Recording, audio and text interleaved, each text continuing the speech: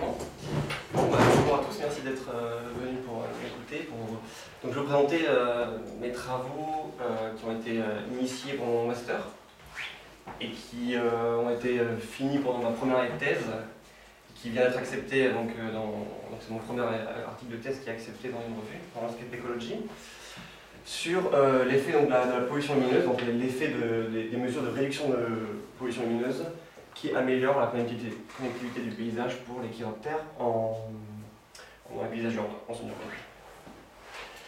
Alors un peu de contexte, euh, comme vous le savez euh, à peu près je pense tous, euh, ben, le déplacement des animaux, c'est la capacité de déplacer des, animaux dans le paysage entre différents habitats.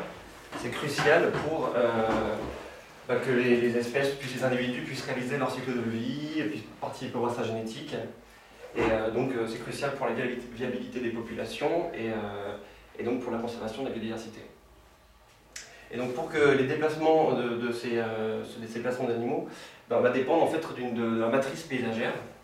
Donc il faut que la matrice paysagère soit favorable, on dit aussi perméable, pour qu'il puisse être réalisé. Donc ça, fait, ça, renvoie à la notion de connectivité du paysage, qui peut être définie comme ben, le, degré auquel ben, le paysage facilite ou entrave le déplacement des animaux. Donc on sait aujourd'hui que la- l'anthropisation constante et rapide des paysages va euh, réduire euh, le déplacement euh, des animaux. Donc ça c'est un, papier qui a été euh, publié en Science il y a quelques années, enfin l'année dernière je crois même, euh, sur euh, les hum, grands mammifères herbivores euh, terrestres. Donc on voit bien une, réduction du déplacement des animaux. Et donc, euh, c'est devenu euh, euh, une, question importante en biologie et conservation de comment identifier et maintenir des paysages qui permettent le déplacement des animaux. Alors, pour répondre à cette problématique majeure en biologie et conservation, plusieurs initiatives ont été, initiées, notamment le Pan European Biological Landscape Diversity Strategy en 1995, donc initié par le Conseil de l'Europe et les Nations Unies, pour créer un réseau homogène et cohérent du point de vue géographique et écologique, composé de zones centrales, de corridors, de zones de restauration, de basé sur euh, des concepts comme euh, la théorie, euh, sur des théories, théorie des îles, théorie des graphes. Et puis en 2007, euh, il y a eu une première application française à travers le Grenelle Environnement qui a proposé les premiers outils de planification, donc les schémas régionaux de cohérence écologique et les 30 vertes et bleues. Donc ces premières tentatives d'identification des corridors écologiques dans les paysages basés sur euh, euh, sont basés sur la connectivité structurelle, donc sur des mesures de configuration du paysage considérées comme des conduits aux obstacles au déplacement. Mais euh, cette approche a souvent ignoré en fait, les facteurs paysagers non structurels et les dynamiques temporelles des écosystèmes. C'est souvent des- des mesures qui ont été faites à partir d'une perception finalement diurne des obstacles au déplacement. Et ils ont un certain nombre de, facteurs non structurels ont été oubliés, notamment la pollution lumineuse. Euh, donc la pollution lumineuse, on peut la définir en fait comme euh, euh, tout type de lumière qui provient d'une source artificielle. Et donc c'est, la pollution lumineuse actuellement, ben, c'est quand même un, un facteur majeur de l'anthropisation des paysages, une conséquence majeure puisqu'elle affecte 23% de la surface globale et euh, 88% de la surface européenne, avec une augmentation actuelle de 6% par an. Et alors là, je vous ai montré un, exemple euh, publié euh, par Felchi dans Science aussi, euh, qui montre en fait, euh, actuellement, il y a, une, euh, transition du type de, lumière euh, vers du LED, euh, parce qu'il y a des enjeux économiques, c'est quand même beaucoup moins cher pour les villes, euh, pour les communes. Et donc il y a eu euh, des simulations qui ont montré que ben, après, si, tout le monde euh, passait au LED en Europe, eh bien, la pollution lumineuse serait beaucoup plus importante. Donc il y a une tendance vraiment, euh, euh, on prévoit vraiment une pollution lumineuse qui, va, qui est en constante augmentation dans les prochaines années. Et puis on, s'est rendu compte aussi que ben, finalement la pollution lumineuse, elle ne concerne pas uniquement les zones urbaines, elle concerne aussi les zones naturelles, considérées comme les zones refuges des hotspots de biodiversité, hein, les parcs, les réserves, etc. Parce qu'en fait, à travers le, le phénomène de halo lumineux, vous savez, c'est ces, nuits qui sont assez nuageuses où en fait, euh, la pollution lumineuse va être propagée dans l'espace beaucoup plus loin que les zones urbanisées et atteindre des zones aussi protégées. euh, euh, voilà. Donc ça, pose problème, ça pose question sur le fonctionnement de l'écosystème, sur les impacts sur l'écosystème. Et donc depuis quelques décennies maintenant, il y a quand même beaucoup d'écologues qui se sont posés la question d'étudier l'effet de la pollution lumineuse sur la biodiversité. Et puisque en fait on, se rend compte que 30% ben, des vertébrés et 60% des invertébrés sont nocturnes. Donc ben, avec, cette nouvelle tendance et ces, nouvelles questions qui sont apparues dans la recherche, eh bien, la littérature nous a, documenté quand même pas mal d'effets déjà. Des effets sur le cycle circadien, donc ce cycle naturel euh, euh, d'activité euh, jour-nuit par exemple, ce, cycle, les cycles saisonniers, qui va provoquer des asynchronies entre les sites éclairés et les sites non éclairés, dans la reproduction, la floraison, la migration, l'activité de certaines espèces. ça va perturber le déplacement des espèces, soit avec des mécanismes d'attraction ou de répulsion. ça va avoir des effets physiologiques, des effets sur le métabolisme, des effets aussi sur le succès de reproduction, nourrissage, l'assemblage des communautés. Donc un certain nombre d'effets qui vont euh, potentiellement euh, perturber le fonctionnement de l'écosystème, sur euh, la viabilité des populations et peut avoir des effets même à long terme. Parce qu'il y a une étude très intéressante récemment qui a été publiée sur une étude expérimentale sur des hétérocères et ils ont regardé en fait le nombre de déplacements vers des sources lumineuses dans des populations d'hétérocères en zone urbaine qui sont constamment soumis à une pollution lumineuse et dans des zones naturelles qui ne sont pas du tout soumis ou très peu à la pollution lumineuse. Et en fait, euh, les populations qui sont constamment soumises à la pollution lumineuse vont aller beaucoup moins vers euh, les sources de, lumière artificielle que les, populations en zone naturelle. Donc, euh, il y a déjà une sélection naturelle qui est en cours actuellement avec la, pollution lumineuse. Et puis, donc voilà, les taxons qui ont été étudiés, hein, beaucoup de, Bon, ça, va du, zooplancton aux hétérocères, papillons, les plantes, les reptiles, les amphibiens, les oiseaux, poissons, et puis beaucoup de mammifères, et évidemment beaucoup les chauves-souris. Et puis, euh, cette littérature nous, informe aussi qu'il eh euh, y a plusieurs types d'effets, il y a des effets positifs, négatifs, et puis la force des effets aussi va dépendre de différents euh, facteurs, donc ça va être les traits de vie des espèces, l'échelle spatiale, l'échelle temporelle considérée, le type de source lumineuse, la couleur intensité, la longueur d'onde, euh, le type d'habitat, paysage, et le type de comportement aussi. L'effet de pollution lumineuse n'aura pas forcément, pour une même espèce, le même effet en période de chasse qu'en période de reproduction, par exemple. Et tout ça, je vais essayer d'illustrer à travers les chauves-souris euh, juste après. Et donc, juste un, petit arrêt sur ce projet. Euh, donc dans, ce contexte-là, en, 2005, moi j'étais en Master 1, donc j'ai fait mes deux, stages de Master de 6 mois dans, le cadre de ce projet-là. Euh, et donc c'est un, projet, un projet tram noir. C'est à ma connaissance le premier en France euh, qui a vraiment euh, utilisé le terme tram noir. Donc c'est un programme d'études et de recherche pour le développement de la tram noire de l'agglomération lilloise. Et, et donc c'est un projet, l'origine c'est qu'en fait c'est l'ancienne région Nord-Pas-de-Calais avec la FRB qui ont fait un appel d'offres pour des, des, projets de recherche sur la conservation de la biodiversité, mais en prenant en compte des acteurs locaux, en prenant en compte, euh, enfin, avec un volet social pour euh, essayer d'avoir, euh, essayer, commencer à faire un peu d'interdisciplinaire et pas uniquement faire la conservation en faisant des recommandations qui seront potentiellement pas réalistes ou pas applicables, essayer de prendre en compte les besoins aussi des usagers.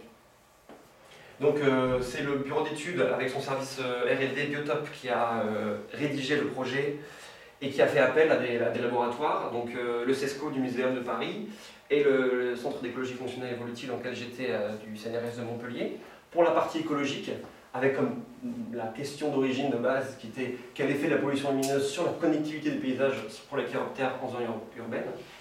Et puis euh, ils ont fait appel aussi à l'Université de Lille pour le volet sociologique, avec comme question principale l'aménagement de la traîne noire sur l'urbaine de Lille Métropole, un projet socialement accepté pas. Avec, et puis ce qui est important aussi, c'était d'avoir évidemment des, acteurs locaux, donc la ville de Lille, les espaces naturels de métropole, et puis la coordination mammalogique Nord-Pas-de-Calais, qui m'ont eux surtout aidé pour euh, la pose d'enregistreur, parce que la pose d'enregistreur en milieu urbain, c'est assez euh, compliqué, c'est un challenge pour ne pas se les faire voler surtout. Donc, c'était, euh, donc voilà, donc il y avait tout un, un, groupement comme ça de, structures qui était très intéressant. Et donc, puisque la personne qui arrivait au papier, c'était un, chiroptérologue, bon, ben, on, volet écologique, on s'est concentré sur les chauves-souris. Alors, je reviens donc sur le contexte, la connaissance euh, des effets de la pollution lumineuse sur maintenant les chiroptères euh, particulièrement.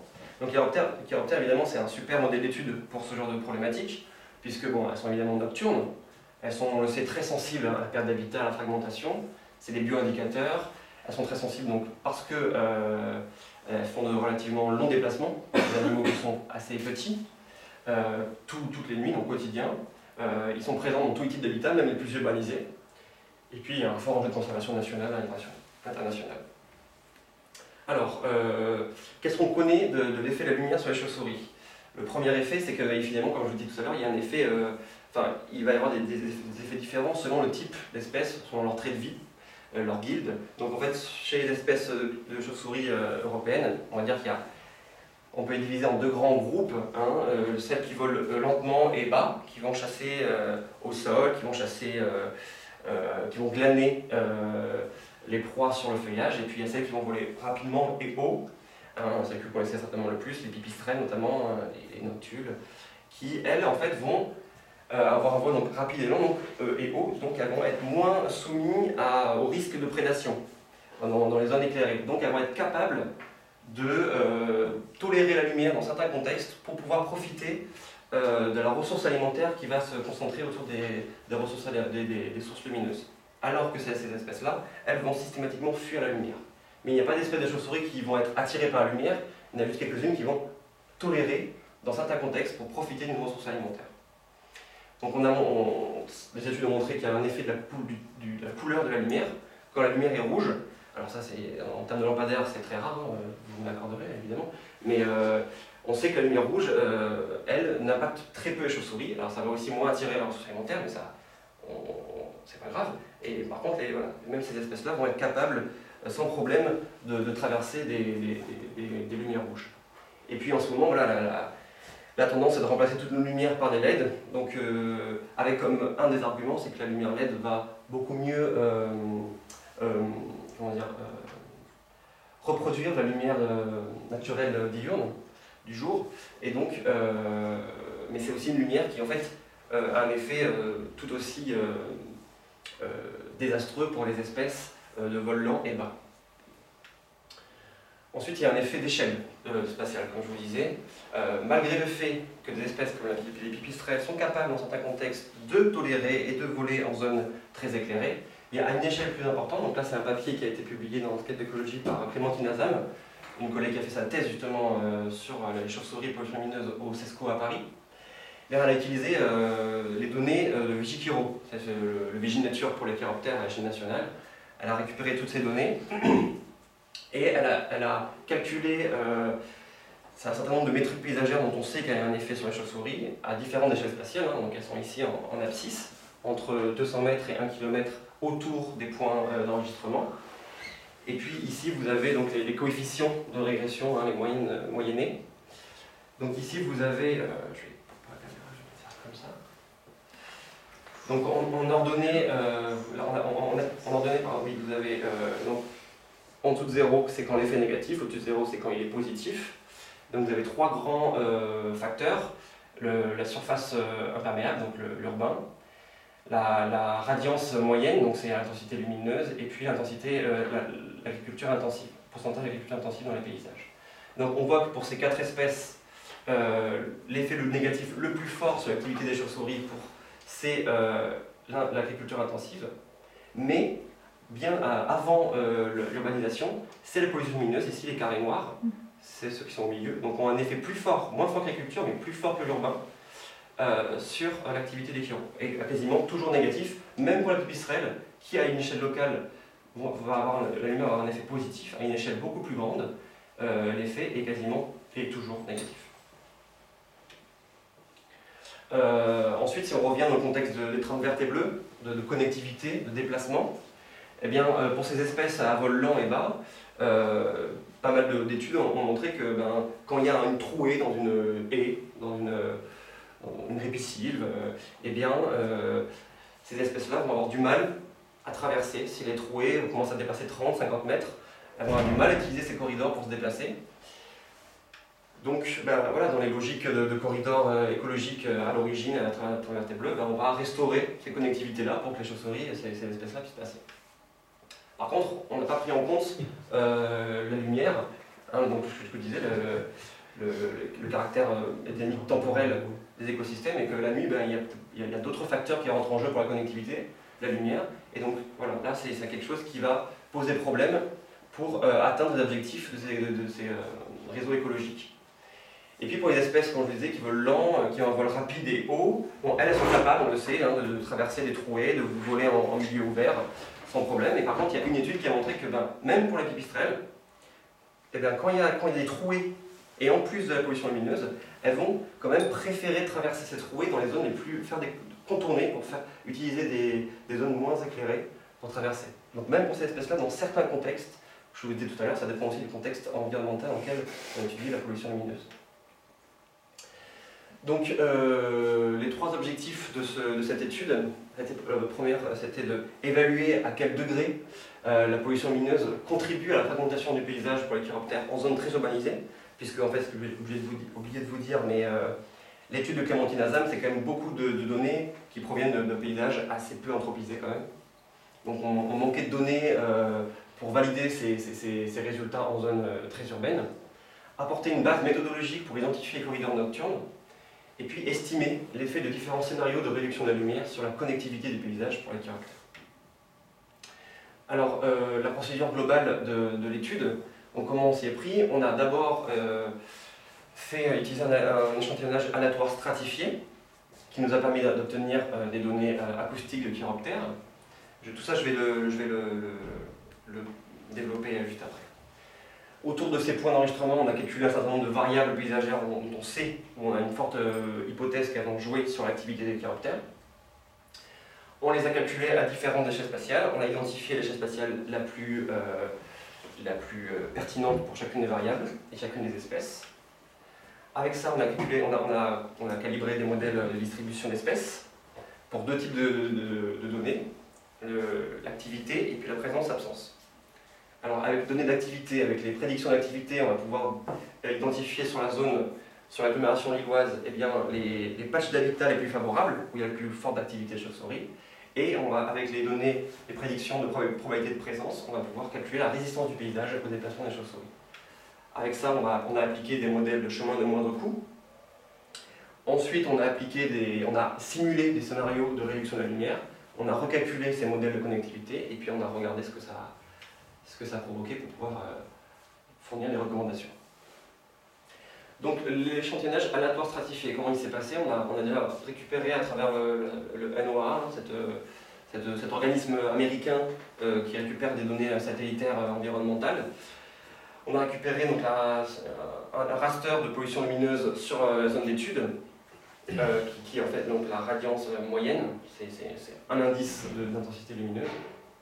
Et puis on a pris deux autres variables, le pourcentage arboré, parce qu'on sait que, que, les éléments arborés sont hyper importants pour les chauves-souris pour se déplacer sur le territoire, et puis le pourcentage urbain sur l'agglomération.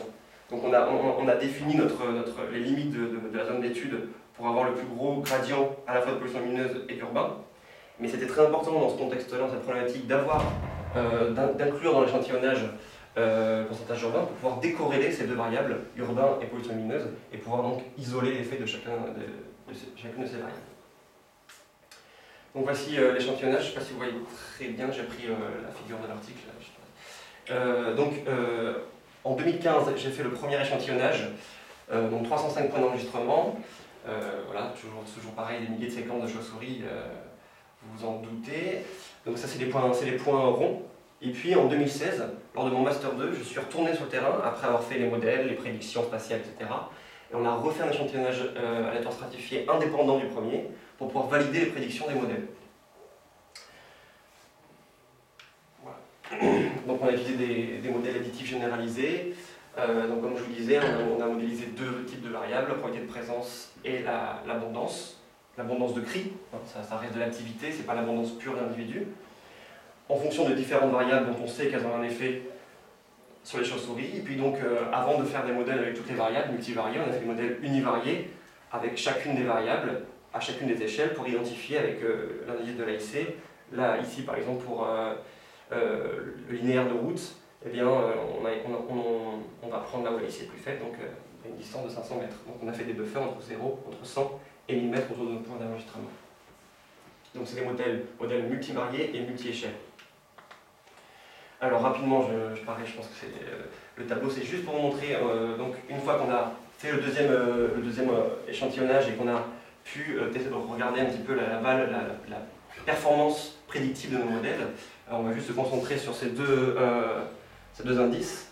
Donc l'AUC, ça c'est un, indice où on utilise la, courbe de Roche, je pense que je ne vais pas développer ici. Et puis CORE, c'est tout simplement la corrélation en fait, entre les valeurs prédites et les valeurs observées sur nos points. Et on voit que donc ici, euh, on l'a fait pour trois espèces, hein, parce que l'agglomération du bois, c'est pas très riche en chauve-souris quand même. Et on a pu le faire, on avait assez de données pour trois espèces, la Pipistrelle natusus, la Serotine commune et le Murin d'Aubinton. Donc on voit que nos modèles sont plutôt bons pour, euh, pour euh, prédire la probabilité de présence de nos espèces, parce que c'est des, des, indices qui varient entre 0 et 1. 1 c'est parfait, et puis 0 c'est totalement nul. Donc là on est, on est plutôt, plutôt pas mal. Par contre pour l'activité, Bon, ben là, on est, on est, on est mauvais. Euh, sauf pour le mouton, on arrive à 0,5, c'est pas mal euh, pour l'activité parce qu'en fait, euh, bon, c'est très, compliqué de prédire l'activité de chauve-souris. il y a beaucoup de stochasticité, ça va dépendre énormément de, variations temporelles et spatiales à des échelles très locales de ressources alimentaires, de pics d'activité de la ressource alimentaire, de la météo, etc. Mais c'est pas un souci puisqu'en fait, vous allez le voir, les prédictions de l'activité a permis d'identifier euh, uniquement euh, les, zones favorables de chauve-souris pour pouvoir ensuite les relier, ces points-là, ces, points avec modèle de, connectivité. Et donc en fait, vu que nous, après, on va comparer les modèles de connectivité en changeant uniquement la résistance du paysage basée sur la probabilité de présence, le fait de garder, d'avoir des, des, nos, nos, points après ne bougent pas entre nos scénarios, les points qu'on va relier. Vous allez comprendre certainement après. Et puis alors, ce qui, ce qui est important, c'est de voir que la lumière, c'est de voir que la lumière a été sélectionnée comme un effet fort et significatif dans tous nos modèles, pour toutes les, espèces, et sont souvent, on a regardé l'importance des variables, et c'est souvent dans, les trois premières euh, variables en zone urbaine, ben, aussi en zone urbaine, euh, la lumière a un effet super fort et super significatif. À différentes échelles, en plus, vous avez pu. Donc voilà, maintenant, euh, les courbes réponses qui décrivent le type d'effet qu'on a qu'on a observé. Donc, ce qui est intéressant, c'est qu'on avait trois espèces qui représentent les, trois guildes majeures euh, en, France. Hein. Donc euh, les glaneurs, les, chauves-souris qui volent plutôt en, lisière, euh, et puis les espèces de haut vol, ici la Serpentine commune. Donc trois guildes et trois types de réponses différentes. Donc une, une, réponse totalement négative, chez les espèces dont on sait les murins vont vraiment fuir toujours, toujours sur la lumière. Donc ici, vous, avez, vous avez probabilité de présence en ordonnée, intensité lumineuse en abscisse. Un deuxième type de réponse, ça va être euh, avec la pucerelle natusus. Alors là, c'est intéressant parce qu'on a, on a, un effet seuil. Donc dans, le premier temps, le premier, euh, le premier partie du gradient où la pollution lumineuse est assez faible, en fait, c'est des espèces qui vont être capables de profiter de cette lumière pour justement euh, profiter des ressources alimentaires qui vont se concentrer sur ces, sur ces faibles pollution lumineuse. Par contre, quand on, a, atteint un seuil où la pollution lumineuse est trop importante, bon, ben là, l'effet devient négatif. Et puis pour la sérotonine commune, là, il y a un effet qui est positif. Alors ça, c'est assez nouveau, personne ne l'avait trop euh, observé. Euh, un effet qui est toujours positif sur cette espèce-là. Notre hypothèse, c'est qu'en fait, euh, en zone très urbaine, ben, en fait, les, zones urbaines, les zones très éclairées, sont en fait des... Il ne reste plus que ça comme habitat, vraiment, c'est habitats suboptimaux. Euh, les habitats qui sont finalement pour cette espèce-là en zone urbaine les meilleurs pour, euh, atteindre, pour, euh, pour se nourrir et chasser. Et donc quand on regarde l'activité, ben, on voit qu'en fait c'est les mêmes courbes. On, a, on, a, des choses très similaires. Donc une fois qu'on a décrit l'effet de, de, nos différentes variables et qu'on a ces variables de manière spécialisée sur la zone d'étude, on va pouvoir ben, spatialiser ces prédictions pour faire des, modèles de distribution qu'on appelle. Donc ici vous avez la probabilité de présence et puis ici vous avez euh, l'activité prédite. Alors ça, ça va nous servir à deux choses. La première, dans la carte de distribution euh, de la probabilité de présence, eh bien, on va pouvoir en fait euh, créer la carte de résistance du paysage. Alors qu'est-ce que c'est? En fait, c'est l'inverse de cette carte-là. C'est-à-dire que plus euh, la probabilité de présence est élevée, moins la résistance du paysage au déplacement est importante. Et puis, euh, pour les prédictions d'activité, eh ça, on, s'est basé sur un référentiel d'activité des chauves-souris à l'échelle nationale, où on a pris euh, le seuil où on, considère que l'activité est, excellente, où il y a une forte activité, il y a vraiment un intérêt fort du site pour, la chasse. Donc on a sélectionné ces sites-là qui vont nous servir de, nœuds en fait, pour, à relier avec les chemins de moindre coût. Donc voilà, ça c'est les chemins de moindre coût hein, qu'on a, a utilisés. Donc là vous avez un gradient entre les, moins coûteux, donc les, plus favorables pour se déplacer, et les moins favorables euh, en rouge.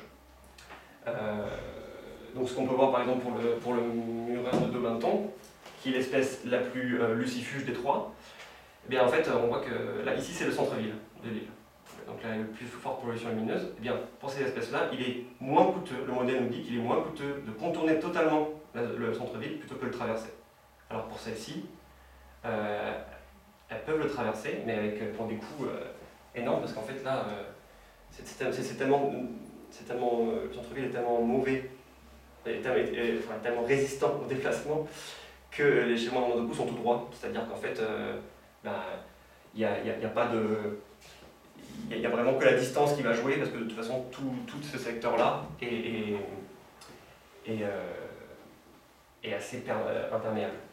Et donc oui, ce que j'ai oublié de dire, c'est que comment sont construits ces chemins de moindre coût il, y a deux choses, c'est la distance euclidienne, donc essayer de, choisir le chemin le plus court, tout en traversant les pixels, où avec les, valeurs de résistance les plus faibles. Donc quand on a des chemins de moindre droits comme ça, c'est qu'en fait tout autour c'est la même chose, et qu'en fait il vaut mieux aller tout droit, et aller plus vite. Et donc une fois qu'on avait, euh, avait ça, qu'est-ce que j'ai fait euh, On a appliqué des scénarios, on a euh, appliqué des de réduction de lumière. Donc comment on a fait On a repris le raster de pollution lumineuse d'origine, et puis on a appliqué par-dessus différents types de soit d'habitat ou, de, communes. Donc par exemple, on va prendre la, zone humide, on avait les patchs de zone humide, donc les cours d'eau hein, et les étangs, tout ça. On les a mis par, sur, sur le raster. Et euh, on a euh, réduit les valeurs de ces pixels de raster euh, qui étaient concernés par les zones humides. Et on l'a fait de manière proportionnelle, c'est-à-dire si un pixel était totalement recouvert par la zone humide, la valeur de lumière était passée à zéro. Si elle était recouverte de 50% d'un patch de zone humide, elle était, la, la, position était réduite de, de 50%. Euh, on a aussi euh, on a enlevé euh, les, toutes, les zones, toutes les zones de pollution lumineuse qui, qui provenaient de zones industrielles, commerciales. Ça, on n'a pas diminué parce qu'on voulait garder vraiment, vraiment proposer des, recommandations qui, soient, qui concernent ben, les communes, ceux qui, les, services publics qui vont avoir un, sur lesquels ils vont avoir un levier d'action. Et puis, donc on, a, on, a, pris les communes de, moins de, de, plus, de plus de 10 000 habitants, de moins de 10 000 habitants, ça, je m'étais basé sur euh, les premiers résultats de l'étude sociale qui montraient qu'il y avait vraiment une différence d'acceptabilité potentielle entre les communes vraiment urbaines du centre-ville de Lille et les communes périurbaines. Voilà. Et donc voici les, résultats. on, a, ensuite, euh, donc avec ces, chacun, donc tous nos, patchs, c'est que j'ai oublié de dire, que tous nos patchs d'habitat sont reliés tous deux à deux. Hein. Donc on avait pour, pour chaque scénario, on avait le même nombre de chemin de coût. Et donc on a pu euh, comparer, on a, utilisé des, tests de students euh, à parier, comparer entre euh, les, chemins de coût à l'origine et les chemins de coût pour chaque scénario, regarder un petit peu qu'est-ce que ça provoquait. Donc ici en, ordonnée, vous avez la différence moyenne de coût-distance de nos chemins de coût entre ben, le scénario, sans scénario et avec chacun des scénarios en, abscisse. Et on, l'a appliqué pour uniquement les deux espèces où il y avait une réponse négative, parce que pour l'espèce où il y a une réponse positive, bah, on s'attend évidemment à, montrer qu'en réduisant la lumière, on réduit la connectivité du paysage, et c'est un peu un, non-sens. Euh, comme je vous disais, il n'y a aucune espèce qui est, qui est, attirée par la lumière, donc dire qu'en euh, baissant la lumière dans l'agglomération lilloise, on va réduire la connectivité pour une espèce de chauve-souris qui est nocturne, ça n'a aucun sens. Donc on l'a fait pour ces deux espèces-là. Et on voit que, bon, euh, les comparaisons sont, euh, sont significatives et que, en, règle générale, à part ici pour la Natusus euh, et le, scénario des communes de moins de 10 000 habitants, on améliore toujours, euh, on améliore toujours la, connectivité, puisque là, c'est la. Plus, plus la différence est importante, plus la connectivité est améliorée.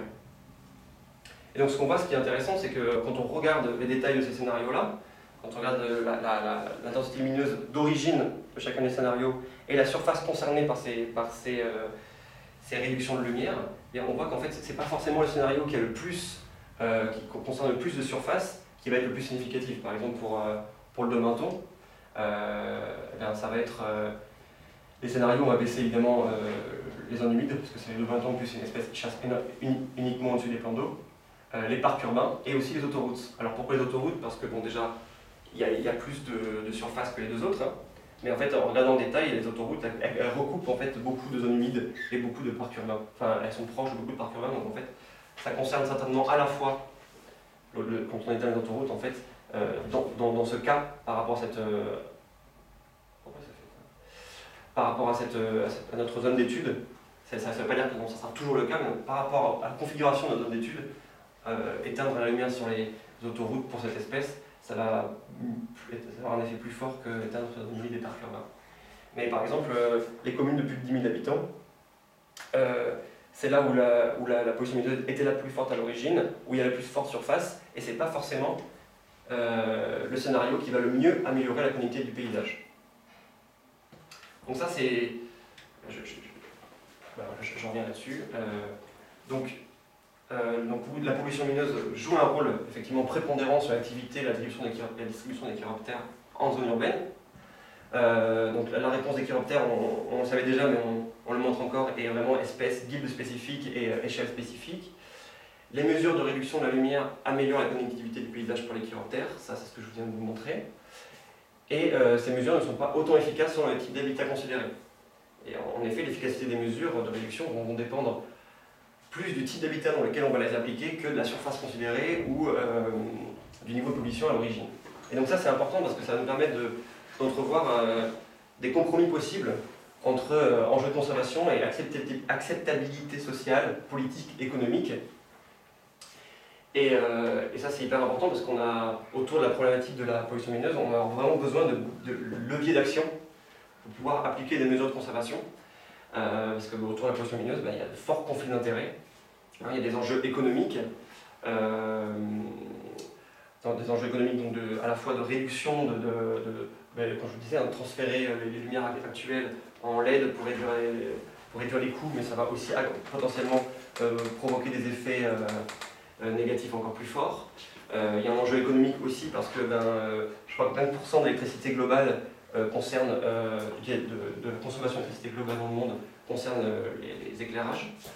Un enjeu social, puisque la lumière, ben, pour la plupart des, des, gens en zone urbaine, ça, ça, dénote une certaine de la sécurité, ils en ont besoin pour faire des activités en plein air, nocturnes. il y a un enjeu sanitaire, on sait que la lumière a aussi des effets néfastes sur notre organisme, euh, des enjeux politiques, puisque ben, la pollution lumineuse, c'est encore aussi une connotation euh, de, développement, de richesse, de progrès. Euh, c'est attractif pour le tourisme, pour mettre en valeur le patrimoine culturel, par exemple. un enjeu climatique, puisque ben, je crois que c'est 6% des, émissions de CO2 dans le monde, ça provient de la consommation pour allouer à la lumière artificielle un enjeu philosophique, sociétal, de, représentation de la nature, de, lien homme-nature, euh, euh, de l'expérience, ça c'est Samuel qui en parlerait mieux que moi, de, l'expérience de nature, hein, de, nocturne, que l'homme en fait est en train de, voir disparaître, parce que c'est un, tiers de l'humanité aujourd'hui déjà n'a plus accès, ne, ne, voit plus la Voie lactée, et, et n'ont jamais vu la Voie lactée en fait, parce qu'il y, y, a trop de pollution lumineuse dans l'environnement. Et puis les enjeux environnementaux, ça vous l'avez, euh, je vous l'ai bien montré pendant le contexte. Donc c'est une tendance actuellement qui est en cours de développer les trams noirs, donc un sujet qui monte dans les territoires. Et donc voilà, je voulais finir là-dessus avec un, article en, projet avec euh, Samuel Chaléa, qui est un, géographe, un géographe d'environnement qui s'intéresse beaucoup à questions de, gouvernance territoriale.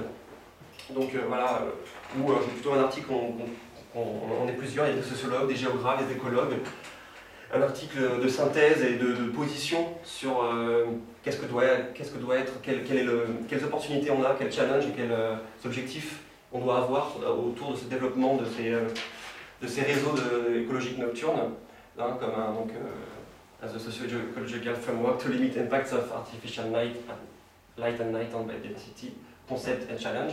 Et donc on milite là-dedans pour des approches territoriales, holistiques et interdisciplinaires, afin que ben, les mesures de conservation soient applicables tout en atteignant les objectifs sociaux et économiques, que les corridors écologiques nocturnes deviennent facteurs de développement et de valorisation culturelle territoriale, et que les habitants et les utilisateurs se réapproprient la transition écologique. Voilà les, grands enjeux autour de la pollution mineuse et de, l'application des mesures de, de conservation de la biodiversité.